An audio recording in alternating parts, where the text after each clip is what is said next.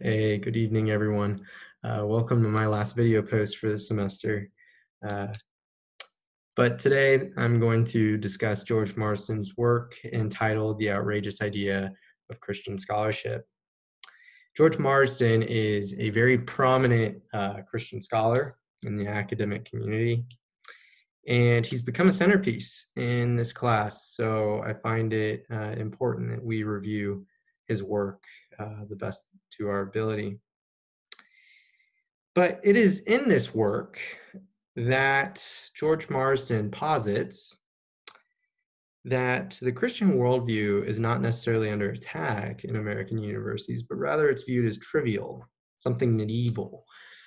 And many other secular academics might uh, push aside such work to say that um, it doesn't follow humanist ideas or enlightened perspectives. The irony is this in this is that many great leaders in the Great Awakening might be viewed as enlightened as well.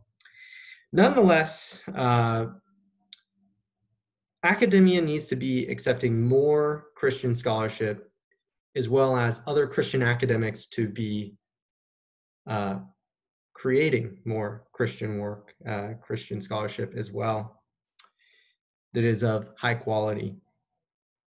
And other academics that accept feminist, multicultural uh, scholarship also very much need to take into account this other scholarship as it creates a more plural uh, society.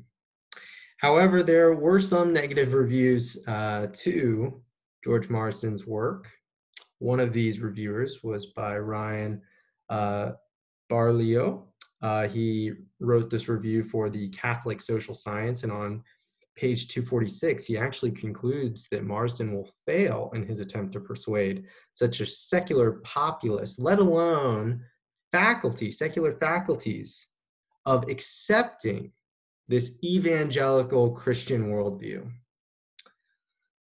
Furthermore, on page 247, he goes on to criticize George Mar- Marsden for not accepting the Catholic worldview.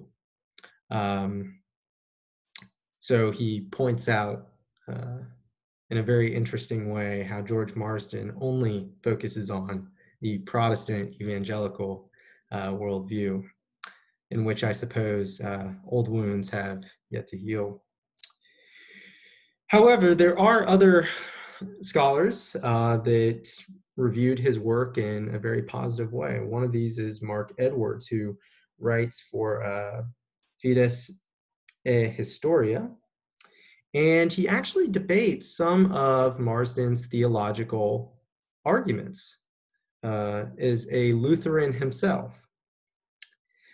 But this is not the most interesting part of his review. In fact, um, he comes to the conclusion that it's actually the, these debates that do need to take place in the university system, as these Christian perspectives will add a more plural conversation to American life within these universities. So, and that not only that, his work will be a turning point or a returning point for these American university systems.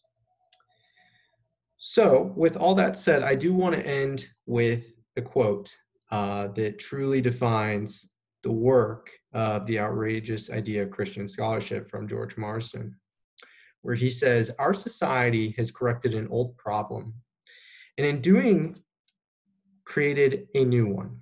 Today, non religious viewpoints hold the advantage in academia, so that something very much like secular humanism is informally established as much as Christianity was in the 19th century.